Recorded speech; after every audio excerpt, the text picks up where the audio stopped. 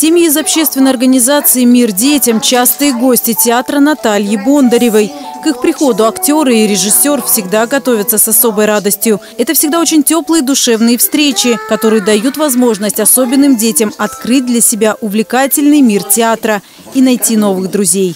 И дай Бог, чтобы вот эта вот маленькая искорка сегодняшней новогодней встречи ребятам помогла идти дальше, чтобы они были здоровенькие, чтобы они были счастливые, чтобы они были любимые, чтобы никто про них никогда не забывал. И даже хоть маленьким каким-то своим добрым поступком, откликом мог их всегда поддержать и помочь.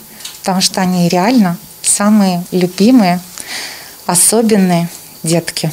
Вертепные сказки давно любимы детьми, но сегодня особенный день и особенный праздник – Чудеса повсюду. Ведь именно сегодня к ребятам спешит самый главный волшебник страны. Для нас это что-то особое. Они настолько теплые, настолько нежные. В их сердцах их сердца очень чистые. И поэтому всегда хочется быть рядом с ними.